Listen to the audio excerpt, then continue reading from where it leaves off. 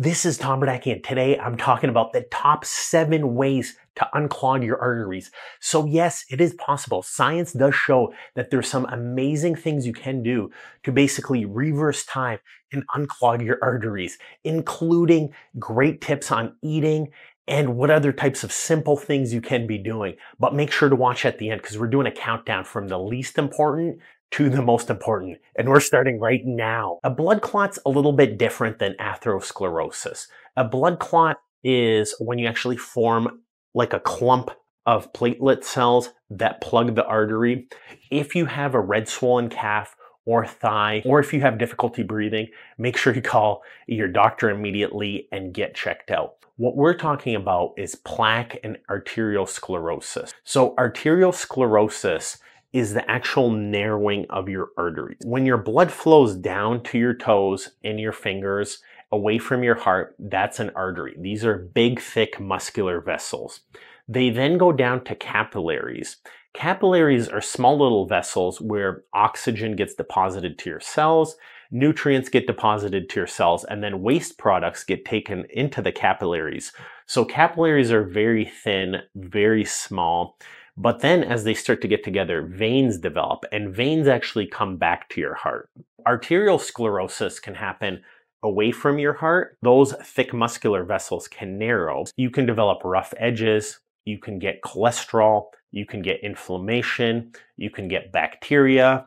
You can get some damage, some plaque. So bad conditions in your body essentially lead to that inflammation, scarring, fat development, plaque buildup. That's what arteriosclerosis. A blood clot can plug the veins. If a cut or some type of damage happens, uh, and a blood clot actually shoots up, that's called a pulmonary embolism. And that's where a clot is dangerous. So clots happen in your veins.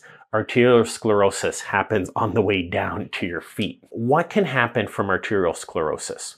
You can essentially develop a stroke you can essentially get coronary artery disease. You can get chronic kidney disease. You can get peripheral arterial disease, which is cold hands, cold feet. And a plaque is made of cholesterol, fatty substances, calcium, fibrin, white blood cells.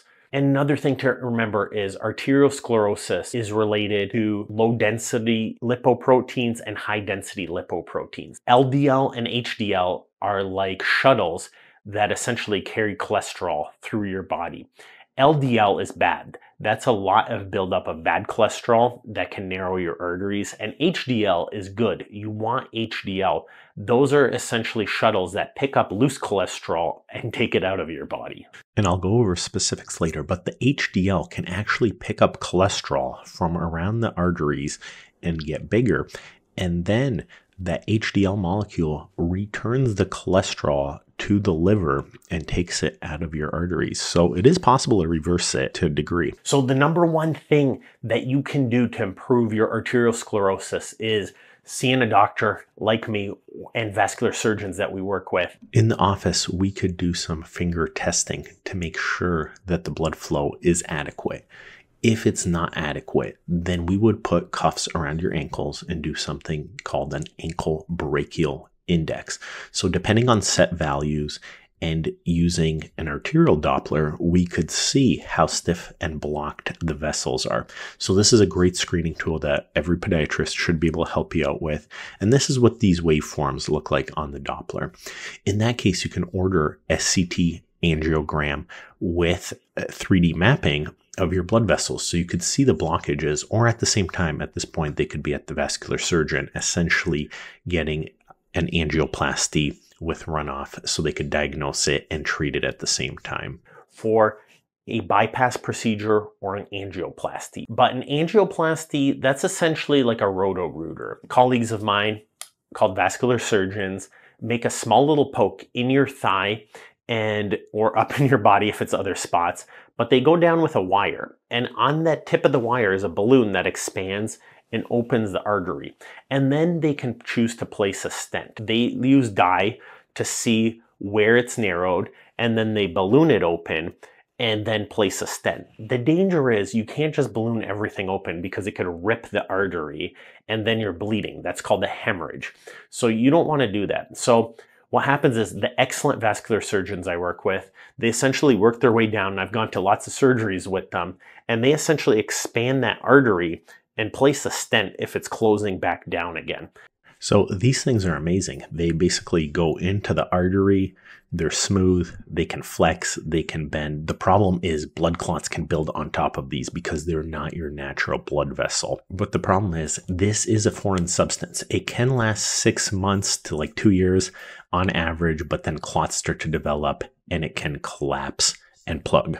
If the vessel is completely blocked, and this happens, where a full blockage develops, they actually have to cut that artery before and after and create a new vessel that goes around. That's called a bypass. That is a very serious and dangerous surgery, but has slightly better long term outcomes. So, frequently, when I see people and they have purple toes or cold toes, uh, I send them right away to one of my colleagues uh, in vascular surgery, and they can do an angioplasty or a bypass and blood flow within a week or two is going perfectly down to the toes. Uh, the person can use their feet, their hands again extremely well. And you can do this in other parts of the body as well. Number two is medications. So, especially the statin medications, studies are generally pretty good on medications. So, you should be seeing your heart doctor or your primary care doctor and getting evaluated. If you have cold fingers, cold toes, uh, if you have high cholesterol levels, you might need to be on medications like statins. Now, there's other medications too blood pressure medications, heart function medications. These are all things that may need to improve uh, your health. But don't worry, these top seven things are not just medication. Number three in our countdown is alcohol. So, alcohol is related to inflammation. So, studies show that men should not drink more than two to three drinks per day. So no more than three, I would say, and 15 per week. Studies also show that women should not drink more than two drinks per day on average and no more than 10 drinks per week. Quit smoking. I don't think that this is a secret. So smoking is related to inflammation, poor blood flow, and not only that, but the red blood cells in your blood vessels actually carry less oxygen. So if you can cut out smoking, your arterial flow, your oxygen delivery, your overall health, your whole body inflammation. People who don't smoke basically have higher high density lipoproteins, which is your HDL. And that's a lot healthier for you. Your cholesterol is down, your blood flow is a lot better. Is marijuana bad for cardiovascular and vascular health? Well, you'd think it would be bad, but the studies don't actually really prove it. That being said, the delivery methods definitely can cause vascular disease and are generally not healthy. Marijuana does have a lot of benefits, but they're not thought to be cardiovascular in nature. So there's a lot of downside, probably not a lot of upside. Number five is stress relief. Now, this is a tricky one right here because uh, sometimes people can seem like they work a stressful job. Really, what I'm talking about is emotional stress family stress. If you need help, if you need to change your family life, you have to start doing that kind of stuff. It's really find time for yourself, find time to relax. Stress is related to inflammation, and more inflammation means more LDL protein. That means more buildup, more plaque, more stress. Less stressed you are, the more HDL you have.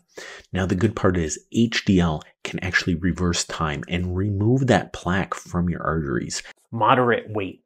So, this isn't a big secret, but studies have shown that even decreasing your weight 3 to 5%, including your BMI, makes a huge, huge difference in lowering your LDL levels and increasing your HDL levels. So body weight is a huge marker. The more you can cut down your body weight, and we have a lot of great videos linked below on just how to do that. Number six, move more. Because people who strength trained at least two days a week, if they combine that with cardiovascular exercise, which is like walking, bike riding, jogging, if they combined it with that, then it was 40%. That seems almost too good to believe. And a bonus one is foods. Foods are huge. Eat more fruits and veggies. So there's flavonoids, there's antioxidants in there. There's a lot of nutrients and vitamins that will essentially cut down your plaque, your inflammation, and make your blood vessels uh, healthier. I could talk about this all day, but more fruits, more veggies. That's the single best thing you can do to reverse your plaque. Fruits and vegetables raise your HDL, which cleans out your arteries, whereas sugar, oils, junk food deposit all that cholesterol and clog your arteries. And it has to do with HDL and LDL. HDL cleans up that cholesterol and LDL drops it off and starts plugging your artery. So you could see eating all that good stuff raises your HDL, which dedicates its life to cleaning up cholesterol out of your arteries. Cut down that processed sugar and that garbage food like high fructose corn syrup and go with more fruits, more veggies. Eliminate artificial trans fats. So this is the butters, the oils, you know, like the popcorn. So anything artificially made that has fat, that has oil, that is processed is going to have trans fats. Trans fats contribute to plaque and build up in your blood vessels. So the more you cut that food out, you will get healthier. Switch to those veggies, switch to those fruits. Omega 6 versus omega 3.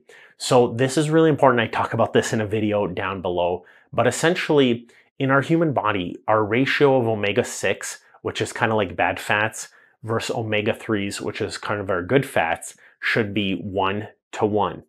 In the Western diet in America, because we consume oils and artificial fats, our ratio is about 25 to 1 of omega 6, which is the bad one, to omega 3, which is the good one.